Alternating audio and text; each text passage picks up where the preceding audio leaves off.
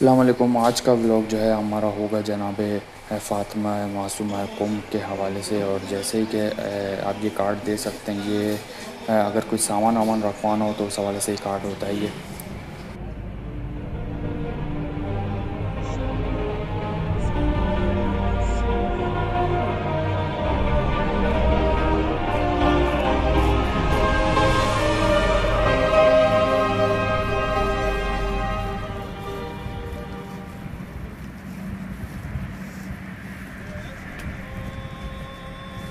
پہلی زیقادہ سن ایک سو تہتر ہجری قمری کو حضرت فاطمہ معصومہ سلام اللہ علیہ کی ولادت پیغمبر کے شہر مدینہ منورہ میں ہوتی ہے۔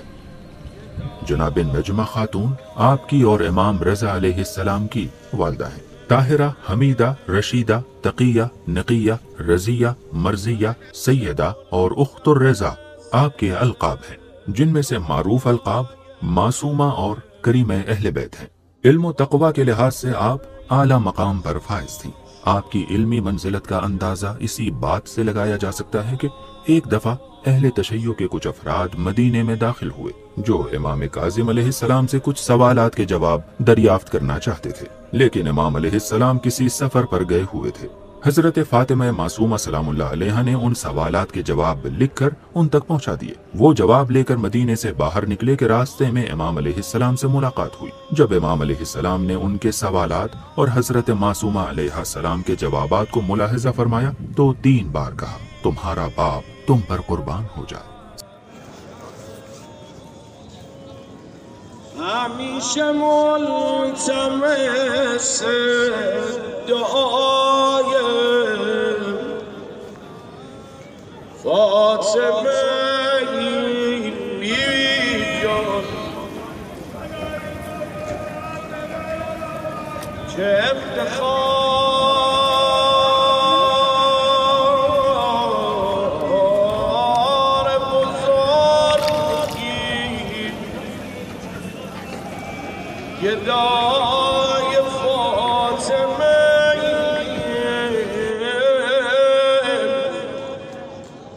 سن ایک سو چھیانوے ہجری قمری یعنی امام رضا علیہ السلام کو مرو جلا وطن کیے جانے کے ایک سال بعد حضرت معصومہ علیہ السلام، امام موسیٰ کاظم علیہ السلام کے بعض بیٹوں اور اہل بیت کے ہمراہ ایک لمبے اور تھکا دینے والے سفر یعنی مرو جانے کا ارادہ کرتی ہیں۔ فاطمی چراغ کو گل کرنے کے ارادے سے بنی عباس کے کارندے ڈاکوؤں کے لباس میں حضرت کے قافلے پر حملہ کرتے ہیں اور ان کے ساتھ موجود بہت سے مردوں کو شہید کر دیتے ہیں۔ اور بعض روایات کی بنا پر حضرت فاطمہ معصومہ علیہ السلام کو بھی مسموم کرتے ہیں۔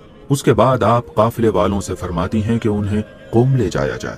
جب یہ خبر شیعان اشعری کو ملتی ہے تو آل سعد بھی اشعریوں کے ساتھ حضرت معصومہ کے استقبال کے لیے شہر ساوا کا رخ کرتے ہیں۔ جب یہ لوگ حضرت معصومہ کے قافلے سے ملتے ہیں تو موسیٰ بن خزرج اشعری جناب معصومہ کے ناقے کی مہار کو تھامتے ہیں اور انہیں قم لا کر خود ان کی میزبانی کی سعادت حاصل کرتے ہیں۔ موسیٰ بن خزرج کے گھر سترہ دن قیام کرنے کے بعد حضرت معصومہ علیہ السلام اس دار فانی سے کوچ فرماتی ہے۔ موسیٰ بن خزرج کے گھر میں آپ کی عبادت کی مخصوص جگہ تھی جو آج بھی باقی ہے۔ آج اس جگہ پر عالی شان مسجد ہے جسے بیت النور کے نام سے جانا جاتا ہے۔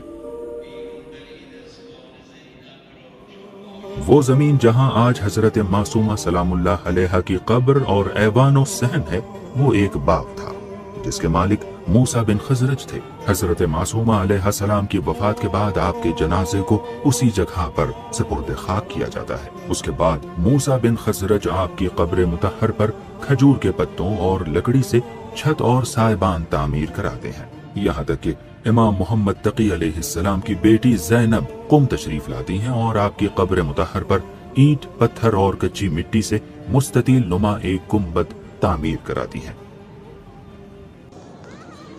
همیشه ملتمس دعای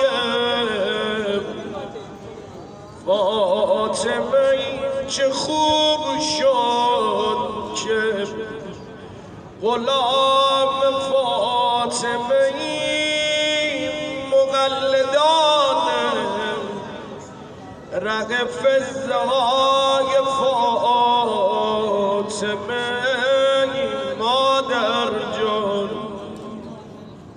رواق پیش رو، جو مسجد تبا تبائی سے ذریح متحر تک پھیلا ہوا ہے۔ معصوم قوم کے روزہ اقدس میں تین سہن موجود ہیں۔ سہن نو، جسے سہن اتابکی بھی کہا جاتا ہے۔ سہن عتیق، ایوان تلا سہن عتیق کے مشہور ترین ایوان میں سے ہے، جسے شاہ بیگم نے تعمیر کرایا اور جس پر بارہ سو انچاس ہجری مطابق اٹھارہ سو تینتیس عیسوی میں فتح علی شاہ نے سونے کا ملمہ کرایا۔ ان ایوانات میں مختلف قسم کے اسلامی ہنر کی تزئین کی گئی ہے، جیسے مقرنس کاری گجبوری اور آئینہ کاری اور ان میں خط کوفی، خط نسخ اور خط سلس میں نفیس کتیبے موجود ہیں۔ ایوان تلا کی لمبائی نو میٹر، اس کی چوڑائی چھ میٹر اور اس کی اونچائی چودہ آشاریہ اسی میٹر ہے۔ حضرت معصومہ علیہ السلام کے روزہ اقدس میں بہت سے مراج اعظام اور علماء اخلاق بھی مدفون ہیں جن کی زیارت یقیناً روح کی شادابی اور ترقی کا سبب ہے۔ جیسے آیت اللہ العظمہ حاج شیخ عبد الکریم حائری، یزدی حوزہ علمیہ قوم کے بانی۔ آیت اللہ العظمہ سید بروجردی عالم تشیع کے مرجع بزرگ اور مسجد اعظم کے بانی۔ آیت اللہ العظمہ شیخ محمد علی عراقی، مرجع تقلید۔ عيد الله الوزماء محمد تقي بهجت فومن. مرجع تقليد. عيد الله شهيد مرتزى متحري. ممتاز تانش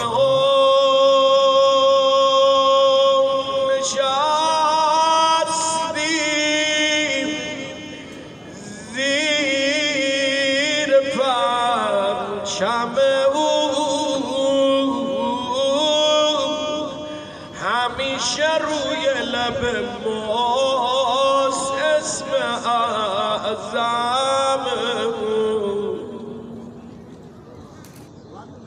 کیه این خانم؟ خدا به خاطر او داده است ما را جان. اومد خدمت پیغمبر گفت یا رسول الله فاطمه بهترین زن عصر خودش. پیغمبر گفت دیگه یه حرف نزنیم اون مریم مقدس بود که بهترین زن عصر خودش بود. عالم آدم و خدا به خاطر فاطمه من خلق کرده.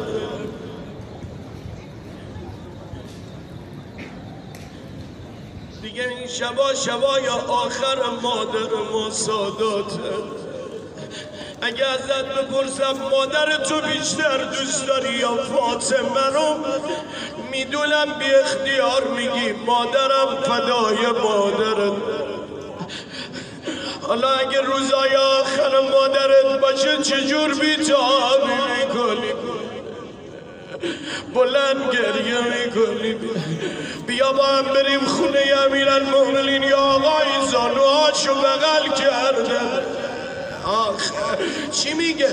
میگه زهرا اگر می‌توانی به مالی بمان عزیزم تو خیلی جوانی. یا الله. اگر نبود نبودیم هیدری الان بگم کجا هیدری چه پیش آید.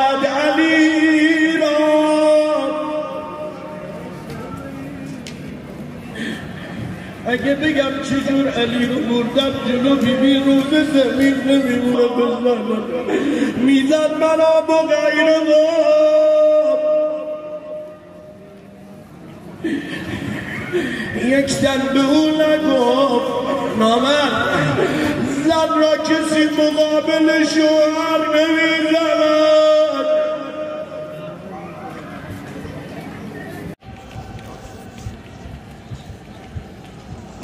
همیشه ملتمس دعای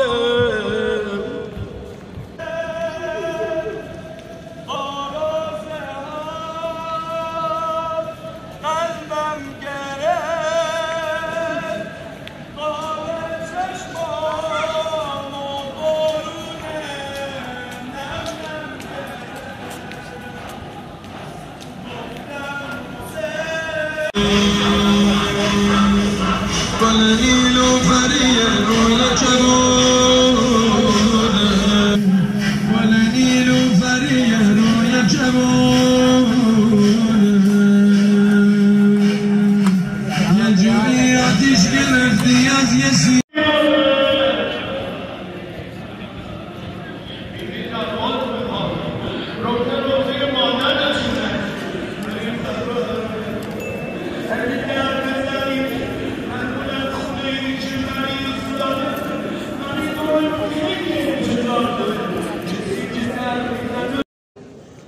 فاطمه بیبی جان چه افتخار